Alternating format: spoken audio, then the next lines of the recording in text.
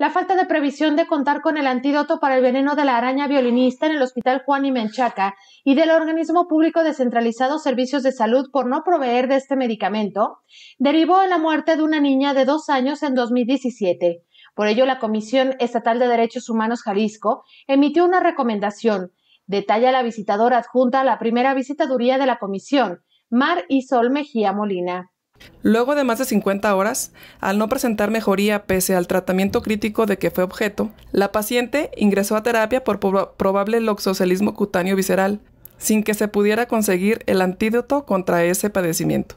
Tras 68 horas de su ingreso, la paciente presentó paro cardiorrespiratorio sin respuesta a maniobras de resucitación cardiopulmonar avanzada y falleció a las 23.30 horas del 22 de septiembre de 2017 con diagnósticos finales de hemorragia pulmonar, coagulación intravascular diseminada e intoxicación por veneno de araña.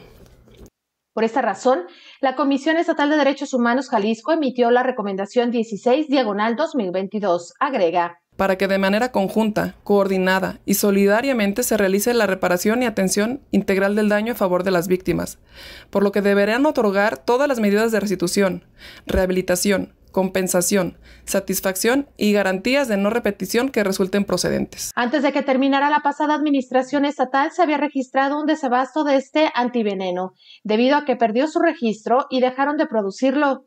Hasta hace un par de años volvió a salir al mercado, sin embargo, a decir de los médicos que se encuentran en urgencias, ya sea de hospitales o puestos de socorro, adquirir este fármaco es un proceso burocrático y largo que sigue poniendo en riesgo a quien sufre este tipo de mordeduras y picaduras de insectos venenosos.